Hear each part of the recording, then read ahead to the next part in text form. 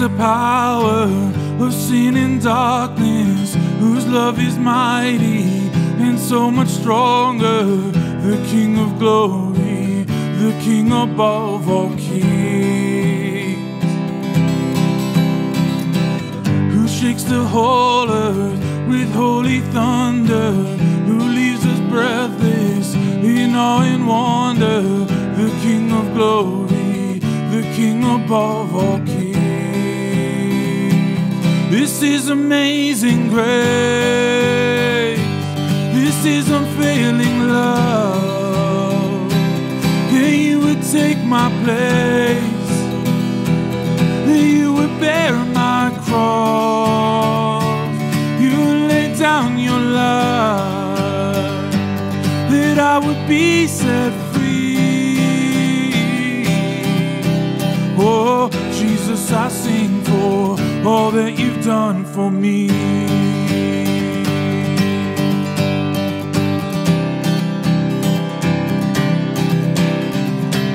Who brings our chaos back into order and makes the orphan a son and daughter?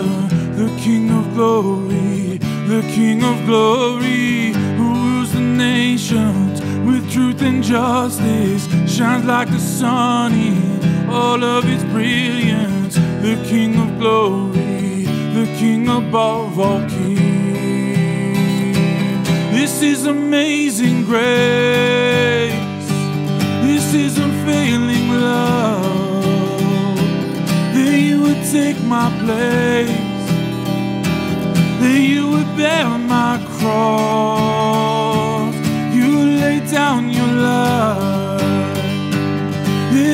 Be set free.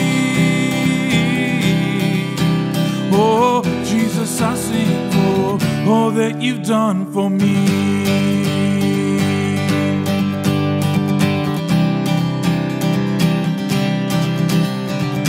Worthy is the Lamb who was slain. Worthy is the King who conquered the grave. Worthy is the Lamb who was slain. Conquered the grave. Worthy is the Lamb who was slain. Worthy is the King who conquered the grave. Worthy is the Lamb who was slain. Worthy, worthy, worthy. Oh, this is amazing grace. This is unfailing love. That you would take my place. Bear my cross. You lay down your life.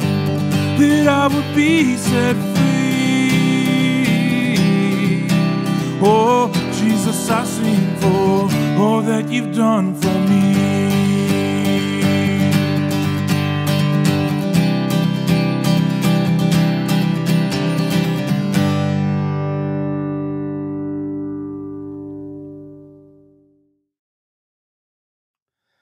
Welcome to another Balmoral online feature. Thank you for your interest and the effort that you make to share in these times with us.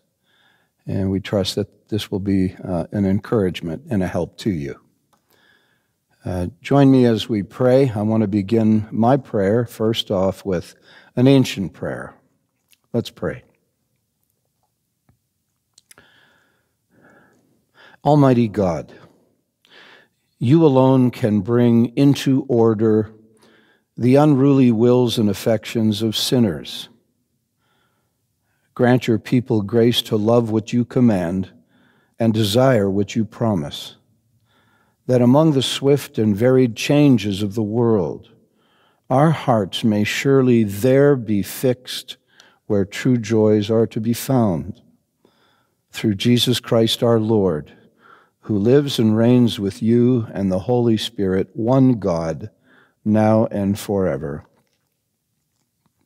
Holy Father, these days we're tempted to believe our survival depends on us, on procuring enough vaccine, getting it into the arms of everyone. Forgive us for forgetting that you are God the Father Almighty, maker of heaven and earth, that it is in you that we live and move and have our being. As valuable as vaccines may be, your mercy and the life you offer us is what we most need. We ask that you would help our country and the nations of the world as we muddle through these times. May these be days of heightened awareness of you, increased worship and obedience, greater caring for others. Be with those among us who are struggling and suffering with various conditions. May they know your comforting presence and your sustaining power. Help us to find our balance, turning to you always, and also turning to each other for support. Open our eyes and hearts to the needs of people. Thank you for your faithfulness, for supplying our needs, and thank you for the faithfulness of your people who support our chapel work. And now, would you use our time together today as we worship, learn, and fellowship? Amen.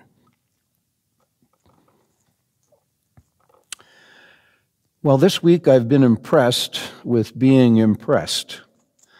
Uh, did you get that? I've been impressed with being impressed. When have you been impressed?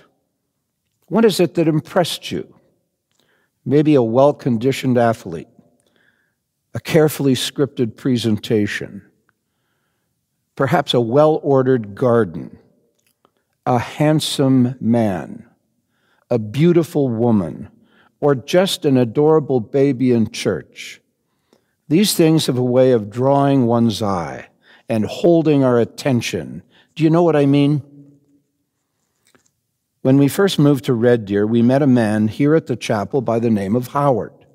He was a retired dairy farmer who excelled in a number of areas. His orchids were award winning. The landscaping on his property made you look twice. But his special talent was wood carving in the round. Using exotic woods, Howard would carve lifelike scenes that usually included animals. One of my favorites was of two bull moose, their horns interlocked in mortal combat, the detail of his carvings was legendary. You could see the shoulder muscles of these animals tensed as they fought for supremacy. If you were ever fortunate enough to attend a viewing of Howard's carvings, you'll remember people oohing and awing as they made their way from piece to piece. Isn't that the effect excellence has on us? It makes us gush it puts us in a state of awe. And words like wow come out of our mouths. It's quite something, this being impressed. Well, in the short New Testament book of Jude, Christians were being served notice that not all was well. Their Christian faith, especially the good news of Jesus Christ, was under attack what it claimed for Jesus and what it required of Jesus' followers was disputed. Immorality was being tolerated, final accountability denied, and people were being devilishly deceived. And to counter this misinformation, Jude presented a vision of God, or should we say a version of God, that outshone anything the false teachers were marketing. And he packages it in what we commonly refer to as a doxology, a short burst of praise. But don't let its brevity mislead you, it's actually loaded with truth.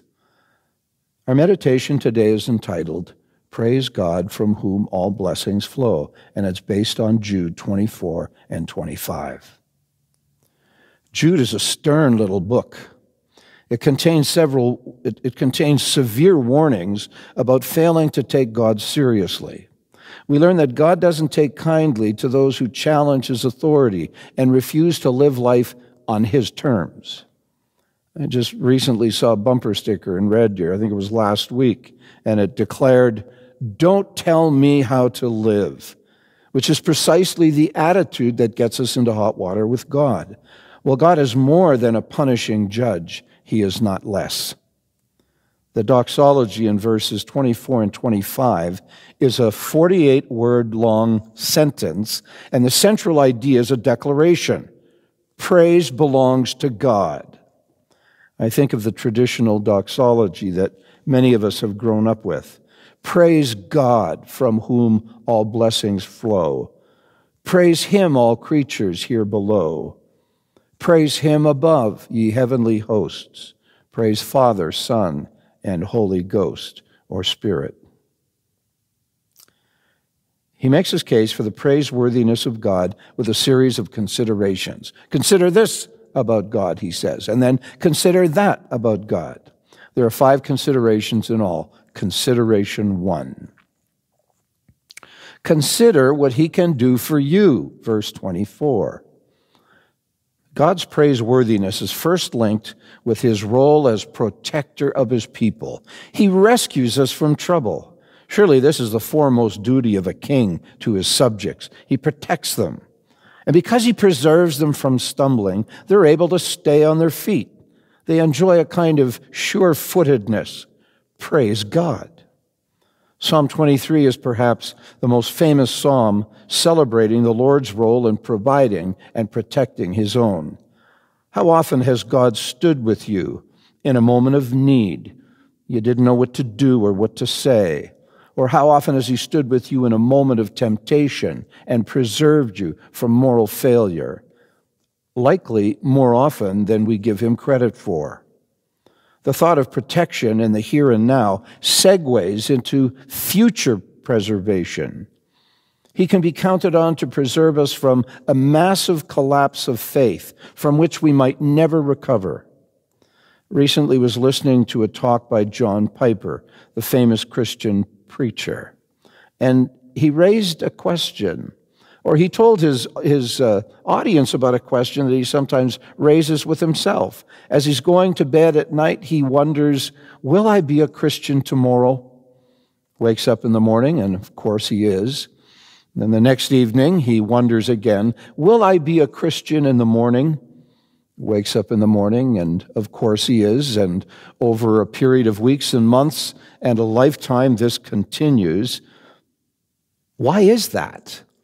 Why is it that we wake up in the morning and we are still believers in Jesus Christ and we have faith in God? And John Piper says, because of God's preservation. You didn't think it was all because of you, did you? But beyond the immediate future, what about the ultimate future? God will so arrange it that after a lifetime of faithful devotion to Jesus, He will cause us to stand in His presence without fault. Really? Without fault? Yes. And, He says, with joy. Verse 24. He will do this for us. He is able to do this for us. And for this marvelous grace of protection and preservation, we say, Praise God. So we should savor it. That's consideration one. Now, consideration two consider who God is. Verse 25. From the ability of God, Jude now moves on to God's praiseworthy titles, which bear witness to his uniqueness. He is, it says, the only God. Do you see that in verse 25? The only God. And it goes on to say, He is our Savior. These are His credentials to prove that He is truly a one of a kind Savior. We've all seen business cards. And sometimes after the individual's name, names, there are little letters uh, maybe talking about the certification or the degrees or something about the training that they've had. These cards display the, their, the individual's credentials, and these credentials point to their competence. Well, that's what these are. He, he declares that he is the only God and he is our Savior. Who but God can say that He alone is God? Who but God can say that He is a delivery specialist par excellence? And there's more. Not only does He have titles, but He possesses qualities that make Him the epitome of worship. To him, Jude says, belongs first glory, a magnificent reputation, and majesty over he is overwhelmingly awesome and thirdly power. He possesses unrivaled strength and fourthly authority. He has cosmic sovereignty in other words, there is no one like our God who stands head and shoulders over everything and everyone. Praise God. Consideration three. Again, verse 25. Jude says, Consider his agent. In verse 25, we have the phrase, through Jesus Christ our Lord. This is interesting. When we want to praise God, we don't simply waltz into his presence. We are brought into his presence. If you were ever given the privilege of an audience with Queen Elizabeth and you went to Buckingham Palace, I can assure you that you would not simply walk in through the gates, through the doors, and into her uh, uh, room, wherever you're meeting with her, you wouldn't simply walk in there. You would be directed. You would be brought there. And the one who brings us into the presence of God is none other than Jesus Christ, the Son of God. He can do that. Praise God. Consideration four. Jude says, Consider the permanency of this. Verse 25. The permanency of what? Of God's praiseworthiness. We've been saying that this doxology centers on the praiseworthiness of God. Another feature of his praiseworthiness is that it has always belonged to him. It belonged to him in the past. Notice what it says before all ages. It belongs to him in the present. It says now and it will belong to him in the future. It says, and forevermore. In other words, praising God is always fashionable. It's always in season. It's always in vogue. That's because He's God. He is eternally praiseworthy. Praise God. And finally, consideration five. Consider your response. Again, verse 25. This is the audience response portion of the doxology.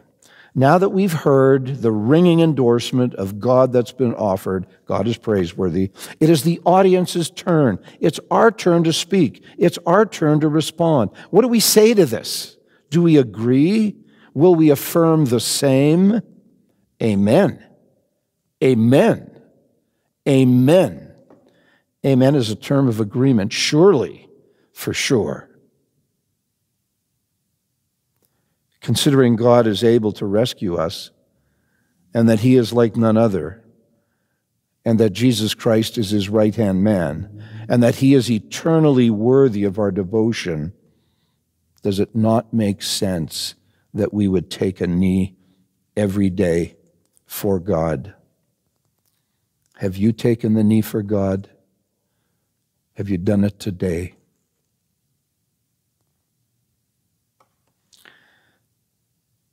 Let's take a moment right now to give thanks to the one who makes it possible for us to stand in his presence without fault. Worthy is the Lamb who was slain, holy, holy is he. Sing a new song sits on heaven's mercy seat. Holy, holy, holy is the Lord God Almighty, who was and is and is to come. With all creation I sing praise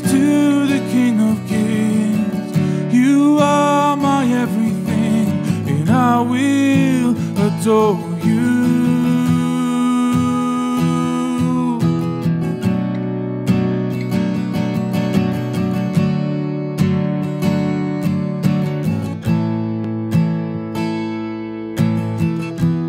Clothed in rainbows of living color, flashes of lightning, rolls of thunder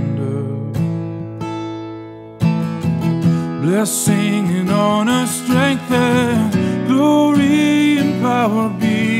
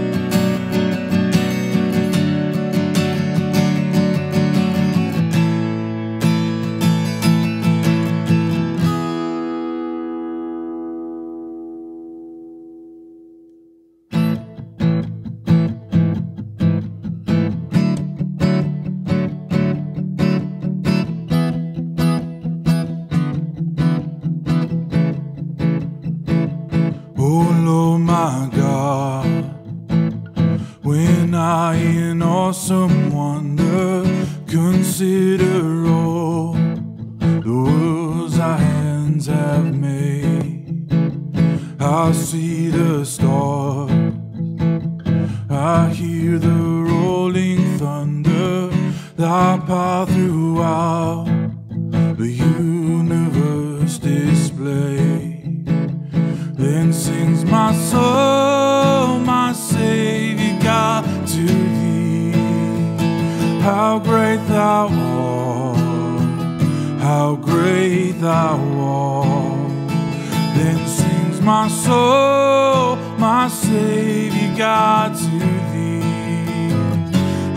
great thou art, how great thou art.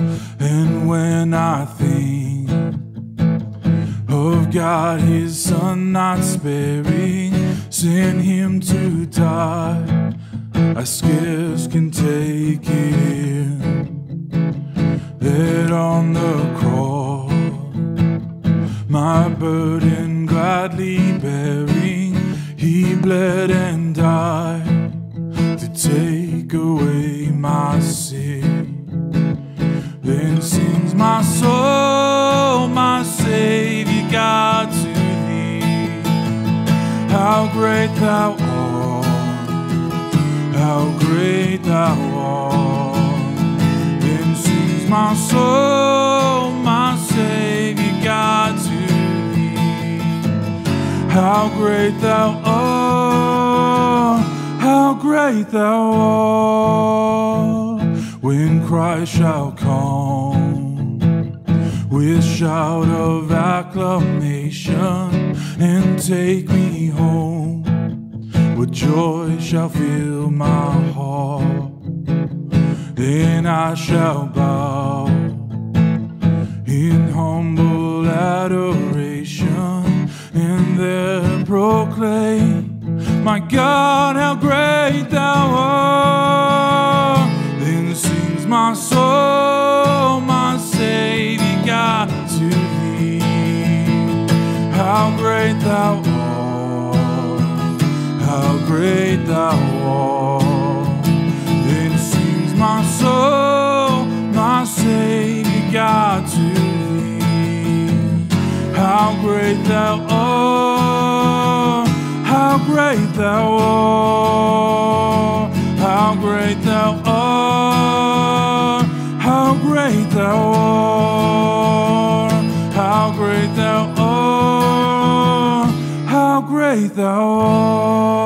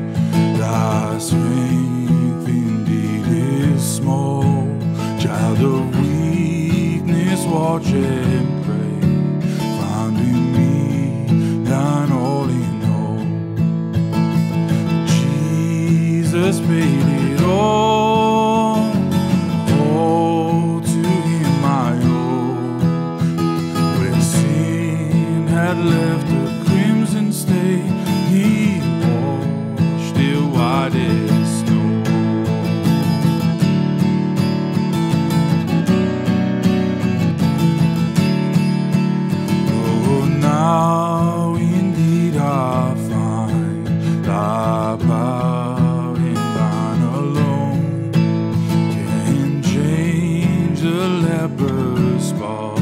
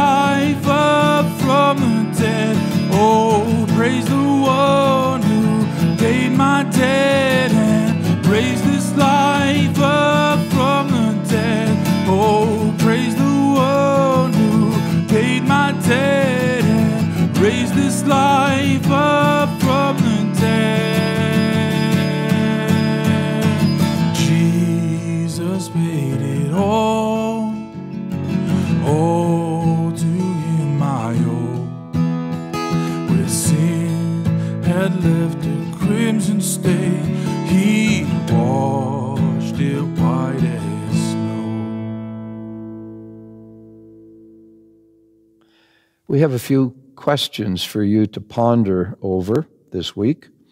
Our meditation today has focused on God's praiseworthiness. First, I'd like you to think of a time when you witnessed excellence, something remarkably impressive. What effect did it have on you? Secondly, Can you name three things about God in this doxology that most impress you about Him?